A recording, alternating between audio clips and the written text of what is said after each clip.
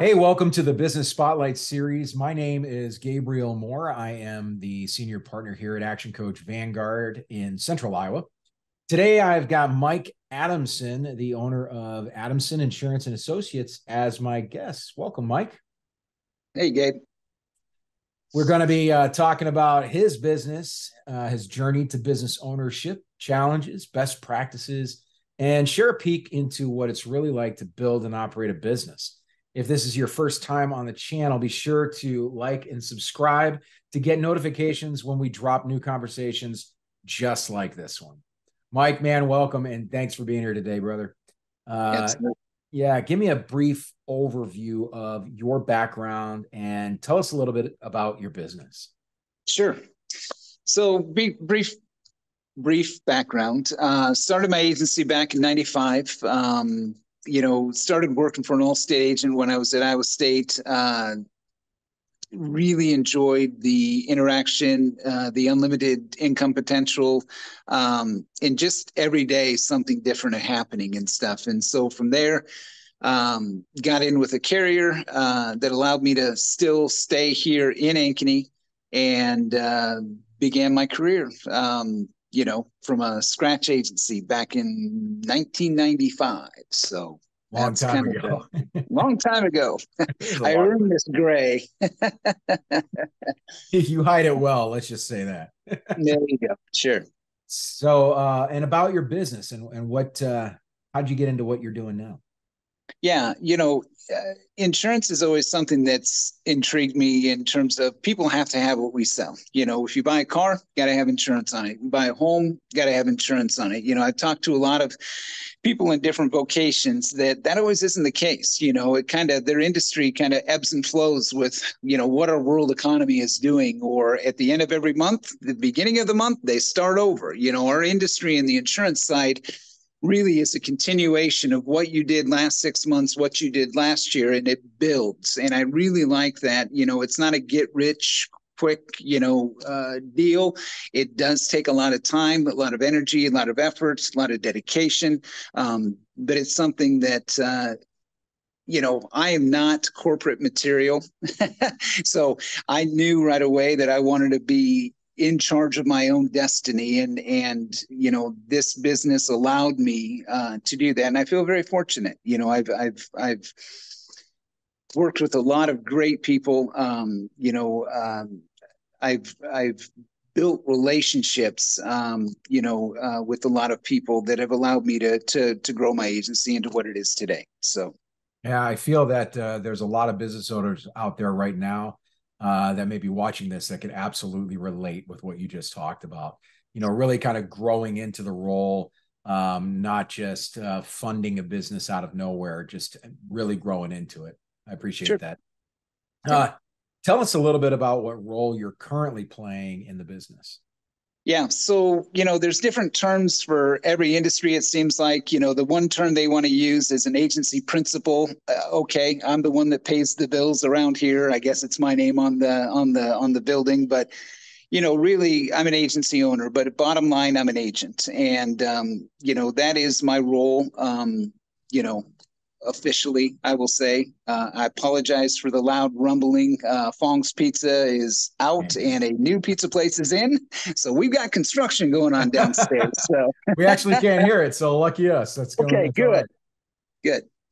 All right. So, you know, that's really, you know, kind of our designation um, as far as uh, my role. Okay. Um, so when you're when you're looking at your role, uh, how how many hours do you spend working in your business, i.e., like the job, as sure. opposed to how many hours are you working on the business, like strategy and planning and growth, et cetera?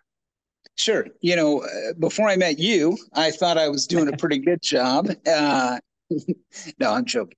Uh, but again, you know, probably the past 30 years have been a primary focus of sales and never really deep diving into what it takes to run a business, you know, getting systems in place. And one of the things that really uh,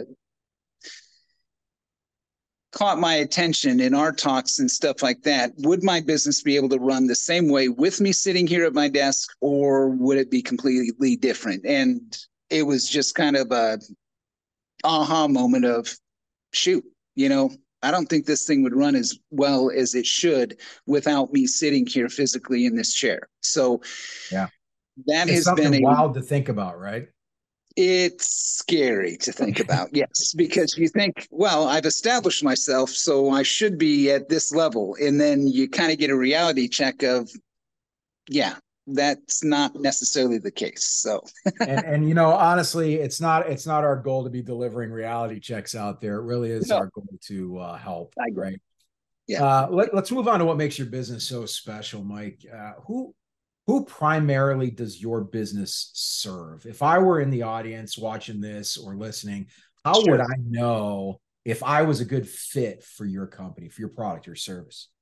Yeah, no, that's a good question. You know, I will say that over time things have evolved. You know, when I was a captive agent, when I first started my career, you know, it was very limited. You know, that company only specifically wanted these types of risks. And I noticed as I engaged and got further into the business that that circle of people that they wanted got smaller and smaller. And that's what really uh, made my decision up that I needed to become an independent because obviously the more carriers you have, the wider scope of people you can help.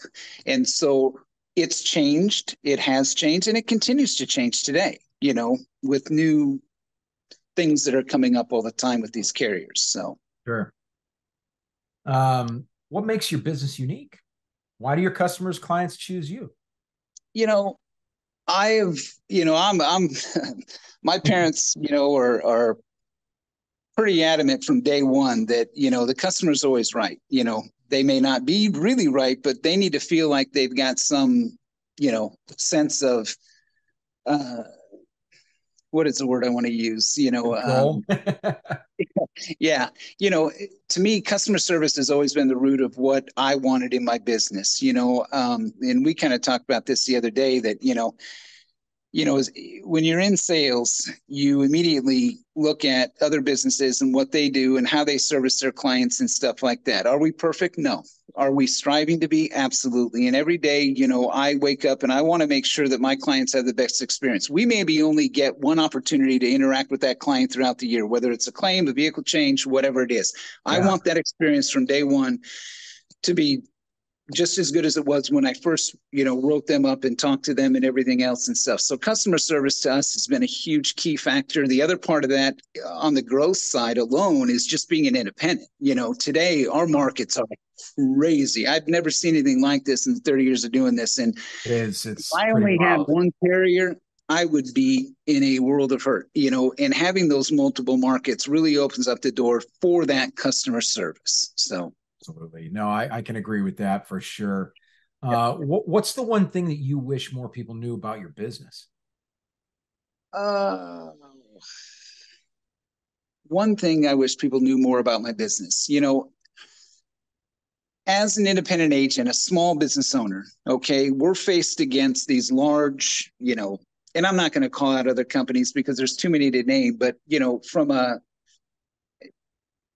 just because you may not see us or see the carriers that we represent on the news or you know on TV commercials and you know stuff like that and we do have some nationwide markets and stuff but really the true carriers that you know I feel are kind of the uh, hidden gems so to speak are the markets that we do a lot of investigating and, and working with and stuff to make sure that they live up to our standards and stuff but really there is a whole world out there of companies that are really good that you may not have heard of but we have worked with for many many many years.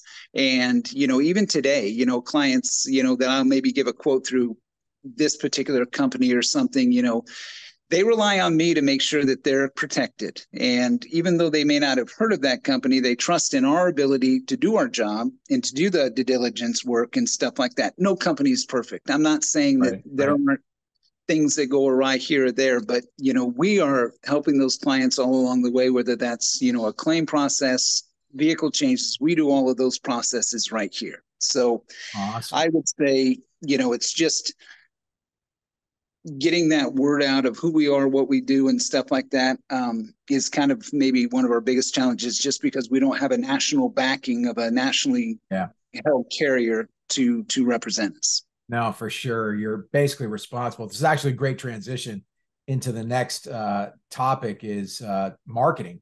Um, you know, yep. you talk about that national level of marketing versus this local level. You know, sure. and marketing, no matter what business you're in, uh, I think you and I both agree it's something that's vital to every business out there, and yep. often an area many business owners struggle with. Right? I mean, yeah. Um, so in, in your case, what's what's really been the number one marketing strategy that has brought you the most business? Um, sure. Yeah, and you know, in working with a lot of new agents and stuff, we have an agent program up here that we that we work and bring in a lot of agents. You know, the biggest thing that I can tell them in you know, I, am old school. So, you know, when I first started, the internet was not around for the most part. We didn't have, you know, one click and you can reach thousands of people and stuff. But one thing that has been true over the years has just been that face to face referral networking. So, whether that's getting into some type of a, a, a referral networking group, um, one of our financial planners here, we've we've tried everything, you know, and um, something that we found is is something that costs money, holds you accountable, meets on a weekly basis, is the best thing, and that's what I recommend all of my agents either start one or get into one as far as that one-on-one referral networking. Great strategy. Referrals is absolutely uh, one of the very top marketing strategies. It's incredibly organic um, yep. It's it it costs uh, the least amount of money, and really you're basically leveraging raving fans, right? I mean, that's kind of the the idea that. Uh, you know, it takes longer to build those relationships, but they'll yeah. they'll they'll be so much more valuable down the road than just you know an ad click campaign or uh, search engine optimization. You know, whatever. I you know yeah. we've done a lot of different things, but the one true is that face-to-face referral networking and building those referral networks up as you as you go along. So yeah, especially in an industry uh, that that you're in as well. You know? Yeah. Um, all right. Well, we spent a bunch of time focused on like the business stuff and sharing a few best practices uh, sure. for the audience. I'd love to take a step back and dive into your journey a bit more. I know we covered a little bit of this, you know, just a minute. I know, right? I know we covered a little bit of this a minute ago, but but yeah. why did you choose to go into business for yourself as opposed to choosing to work for someone else? What was what was the catalyst? What was the transition like? Yeah, you know, again, just you know, I I've got a son who's a freshman, you know, going to college and, you know, dad, I don't know what I want to do. I'm like, hey, buddy, it's okay. You know, we'll figure it out and you'll figure it out along the way. And that's kind of my approach to it. You know, I didn't really know what I wanted to do. I just knew that there was something in me that wanted to be my own boss, create something that I could pass down to generation or, you know, whatever and stuff. And, um, you know, that has always been my mindset. You know, I was very independent as a child and just, you know, knew that I wanted to go my own path. Yes, I've had a lot of really good uh, teachers and and advisors and you know people along the way. I haven't figured this all out on my own by no means but um, you know i knew at the end of the day it would be my decision on whether or not i pursued this route or this route. And you know i've done a lot of things that I'm like, man, that wasted a lot of time and energy and effort. And I've done a lot of things that you know did pan out to be to be uh, successful with and and stuff like that. So that was you know from the very beginning kind of my mindset that I knew I wanted to go into business. Um, that I could be the one that would make those decisions and stuff like that. So. You know what you just said there, Mike, was pretty authentic. Uh, I think um, when you when you shared that you know it doesn't when when you try to do it on your own you might go fast. There's like an old african proverb out there if you do it on your own you'll go fast. If you do it um, as a team you'll go far. Correct. and it's uh, it's really good that um, you just in yourself and your own journey recognize the players that are in your life that have helped. Your like you said to your advisors or mentors or anything like that. That's that's powerful. Not a lot of people will be able to uh, you know, kind of shift responsibility outside of them, it just goes to show that uh, you're you're probably in for some pretty amazing growth. Personal opinion, we'll just say that. Yeah. anyway, it's uh, no, it's it's been a great journey, and I'm looking forward to the next chapter, and you know, to see where that brings. So, yeah, absolutely. Um, Me too. As you look back on that journey that we just talked yep. about, what's been the most memorable roadblock or a hurdle that you're challenged with that oh, uh, you're forced yes. to overcome? Yeah, here we go. Right. here we go. Yeah, the challenges. The challenges. You know, the the the early on the challenges seemed monumental like oh my gosh you know and now those same challenges with a little bit more experience and and wisdom um, you know seem doable but they're still a challenge. And so i'd say you know early on it was making that transi- transition from captive to independent you know that was a big deal you know and and i remember having that conversation with my wife that it was like we got to do this, you know, and she was very supportive, obviously, of it. But yeah. it was a big, big deal. You know, you you build an agency and then you literally start over. Uh, you know, there's taking it to the of, next level, right? You're taking it to the next level, but it does come with the the challenges and things and stuff like that that that come with it. But I knew in the end that was going to be the best thing for my clients, so I didn't look back. We made it through it, and we continued to, you know, grow from there. So that would have been my biggest challenge early on. So that's awesome. Thanks for sharing that. Uh, yep. Let's fast forward a little bit um, sure. and look at what comes next. Where do you see the business now in about three to five years? What's it looking like? Well, with your help, uh, it would be nice to answer that question. Would your business run the same with or without you? And so those are some of the challenges. You know, I am very much uh, a personality uh, and uh, feel that it's only me that can take us there. And I've got to rely on key people, uh, whether they're here already in my agency or will be coming to my agency over those next few years and stuff to help me accomplish that. Because it's not that I'm looking to get out of anything or whatever. It's just I know that if I want to grow my agency to the next next level, I can only place so many hats on my head. And as you can see, I, I got plenty of room on there for it, but you know, I, it's just smart business. You know, it's it's it's taking your business to that next step that I think every business owner knows in the back of their mind. You know, yeah, man, yeah. I, I, I would love to take a vacation for a week and you know not have 500 calls or emails that I got to review or whatever. Just that You're confidence.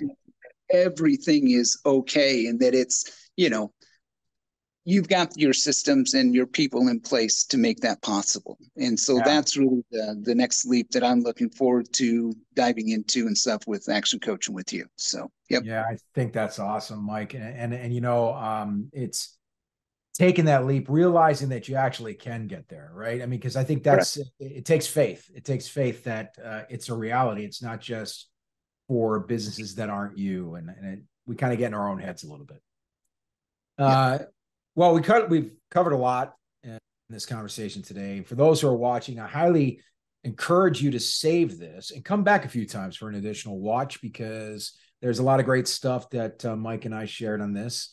Um, as we begin to wrap up, though, Mike, I got a few rapid fire questions. These are quick top of your head questions, one word answers or one phrase answers. Are you ready to go? Okay. I'm ready. Let's go. First one What is the key to success for you? Key to success uh, work. You work. work hard. You work you work hard you work every day and you know uh, nothing happens. It's kind of like the old saying you know how do you need an elephant? One bite at a time you know but it's consistency. You know i hear that all the time and people mention that but it's like you know, it's the little things daily that are done that equal massive things at the end of your goals or your, you know, what it is that you're striving to do. And and it's hard and it's not easy. And no, I can't no. say that I've hit it a hundred times, you know, but it is something that I strive to do. And you just got to work, you know. Okay. So that was the one key answer. So that's okay. Work. I like it. Work. What is your one piece of advice for other business owners?